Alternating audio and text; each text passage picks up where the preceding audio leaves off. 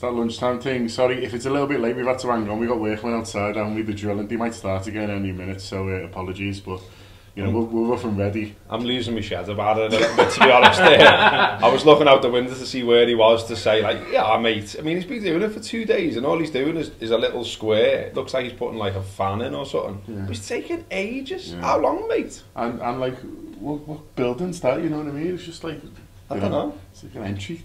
I don't know, what, they- I don't know what they're up to, but uh, but they're being noisy about it, so apologies if you get a bit. Have you seen the picture of Martin Skrtel with hair? I know, it's mad, isn't it? Freaked me out Is today, it you know? Yeah, I think so, yeah. I mean, the, my first thought was he's not- Photoshop. So he's, he's been shaving his head all these years. He's not actually bald. Well, I don't know, because he's got like, if you think about it, like there was there was a decent like hair thing there, and he's just been like, just cutting it very He's- very he's short. going for that hard look, like. Yeah, but now now I think he's given up on that. Yeah. he's realised. onto it. Yeah, no one, everyone knows you're not that hard, Martin. So, So he's just thought, "I- I'll do this for the missus. So he's Do got you like this? Yeah, I think it looks nice. Do you like it? Yeah. Well, it's weird, It is weird.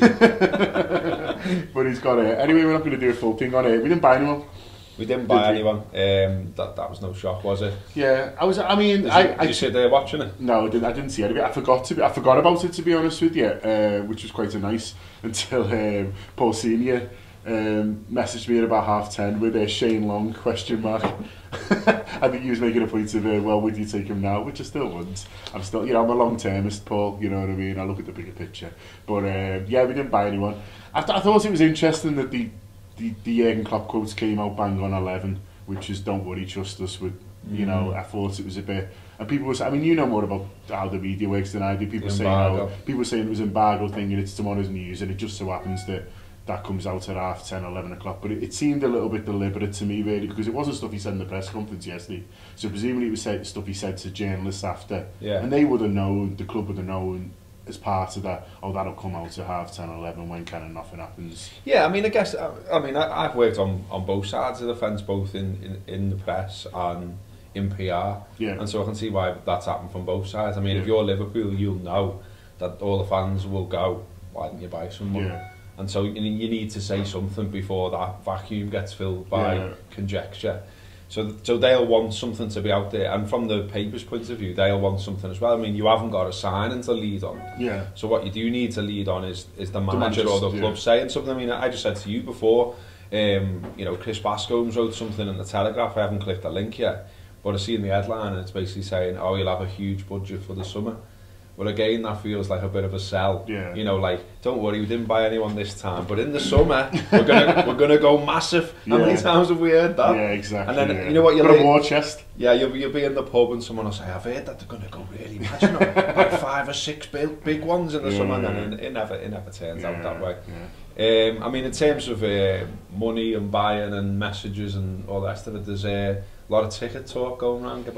Yeah, there is. Yeah, there was um, SOS obviously put a statement out last night, pretty scathing about about their dealings with the club really and how and I feel sorry for them because they've they've been in, in put a lot of their own time in about 13 months of work you know with with the club really and then obviously from their statement you can see felt that they've not really been listened to and, and Liverpool Football Club it's not just SOS, you're working with um, Spiral, the Spion Cock lads as well and, supporters and committee. the Supporters Committee, free the Supporters Committee, you know, put a lot of work in and for them to feel like at the end, well, the club just kind of did what they were going to do all along is frustrating because, you know, these people have all got jobs doing like full-time work or education or whatever and mm. are putting these hours in to try and help other Liverpool fans, so understand if they're frustrated. I gather we're going to get some news on it today. Um, all I'd say is look past the headline figures. You know, you're going to get people saying you're going to get the club saying oh, about the lowest prices you can possibly pay. I'd, I'd look into those and see how many games you can buy those tickets for and how many tickets are going to be available. You're going to get people going mad about the highest ticket prices. And again, I'd, I'd probably you know ignore that a little bit as well. What what I'm more concerned is is okay, your ordinary fan who's got a season ticket, you know. What, what are they getting in for? You know what I mean? What are, what's the cheapest season ticket? What are the cheapest few seasons season tickets really? Because not every fan can buy the cheapest one, you know, in terms of numbers. And, mm. and what's the ordinary fan being asked to pay week on week really? So, I mean, my advice, I don't know about you, Gareth, is to, is to, is to look past the extremes and, and actually focus more on you know the, the middle ground really because that's what most of us are going to end up paying. Yeah, and also as well accessibility, isn't it? I mean, I, I think that I think most fan, you know, fans will disagree about tickets, and and there's no right answer almost where everyone's happy. Yeah. Because you know, there's more, there's basically more people who want to go to the game than there is places to go to the game. But I think what what fans have agreed a lot on, you know, where there is common ground is that we need more kids in the ground, that we Yeah. need to try and get the age down of supporters in the ground. And, and you know, there's some talk that the club will, will go some way to try and to address that. But again, I think you should look at the numbers. I think you should look at whether it's a token thing, whether they could have done more. And, and also, I mean, a big question for me is how much does the club have to make from supporters? Yeah. You know, they're bringing in a lot of revenue from elsewhere. Everyone knows about this TV money that's going to come in. You know, how much do you really need to, to charge supporters? And, and if it means you're making an extra million or an extra two million, you know, that's not a lot of money to a club. But, but to, to the people going through the turnstile, it is a lot of money, and, and that's you know, and that's why people get annoyed. I mean, I think it'd be interesting what happens with the cup games for the rest of the season because it's it's surely got to the point now. We've played so many games this season. Mm. It's surely got to the point where they they budget for so many, and we've had well over that, I'm sure already. So if we get through the next round against Augsburg, we've got another round. I'd like to see them go. Do you know what? We've made a lot of money off tickets this season. We'll make every ticket 10, 15 quid or something for adults, five for kids. You know, just as a way of saying, nice one. You've put a lot in this this year. You know, you spent a lot supporting the club. You know, it's a UEFA Cup game Thursday night. We're going to make everything really cheap. Things like that. Yeah, we've got an away tie if we get through against West Ham, against Blackburn. But if we get a home quarter final tie, maybe try and do something again and just just give a gesture to fans and say, okay, we could make more money here, but we want to say nice one for supporting us through this time, where, to be honest, the footy hasn't been that great. Exactly. I mean, one thing that concerns me, and it, it's it's a, a quote that Peter Scudamore said uh, of the Premier League a while ago, and basically he he doesn't think he doesn't think of a culture where people go to the game every week. Yeah. He thinks about people just you know treating it like I don't know theatre, cinema, something they go to occasionally. There's people who are essentially locked in in their habits, in the way they consume football, that they want to go every week. And so therefore, if, if you just keep putting the prices up and up and up, they'll try and find ways to pay them. And most of the time that sacrifices in their family life and what have you. And I, I just don't think that that point gets lost a lot as well. Yeah. You know, it, it's just like, well, it's supply and demand. It's supply and demand. If, if they charge that and people pay it, then it's fine. That's, that's the argument I see from a lot of people.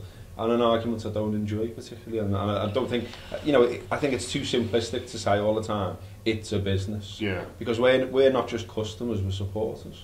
And the, the culture of football club comes from people going week in, week out and learning about the football team and learning what it is to support the football team. And yeah, there's people around the world who, who- who don't get to that opportunity and I appreciate that. But I'm sure if someone's flying from Australia or America or Timbuktu or wherever and coming, you know, they want to experience the Liverpool crowd. And, and part of one of the things they're looking forward to as well as the seeing the team is, you know, is the fan culture and experiencing The atmosphere, that. And the the, atmosphere. And that comes, you know, flags flags don't come from people who go four or five times a season. You know what I mean? You're not going to make a big massive flag just to take it on a one off. You know what I mean? It's these people who, who are going week on week, and that's where you learn about you know the atmosphere. You learn about what it is to be a Liverpool supporter on the Kop, and where you learn the songs. And the terrace culture doesn't kind of come out of nowhere and doesn't grow on the internet, you know what I mean? It, it grows from people going to games together, it grows from people, you new young people coming to the game and, and kind of learning what it is about to be a Liverpool fan really and and that that's in danger of getting lost I think if you've got this idea as you said that the Scudamore's got the